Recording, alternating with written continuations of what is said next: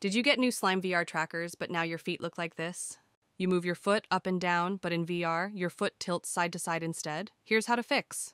Make sure the basics are set up. Use the body proportions automatic calibration to get measurements that fit you. Your trackers should be attached comfortably but tightly so that they don't slip or move around on your body. Trackers also have variation. You can try swapping trackers between placements too. Foot trackers should be calibrated, but how to calibrate them is not obvious. First, go to Settings and turn this setting on. The mounting calibration is a bit tricky with foot trackers on. You'll do the mounting ski pose, but you'll also have to stand on your tiptoes. This tilts your feet and shows the mounting of the feet trackers to Slime VR. I recommend carefully using the back of your chair or desk to keep your balance while you're doing this calibration. You can also sit down on the floor and tuck your feet underneath you, similar to a kneeling pose. Add the feet tilt into the calibration while still doing the other parts of the mounting ski pose calibration correctly. Check the mounting setting for each foot.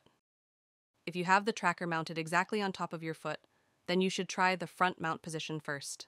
There are multiple mounting settings you can try. This should help you get started with feet tracking in Slime VR.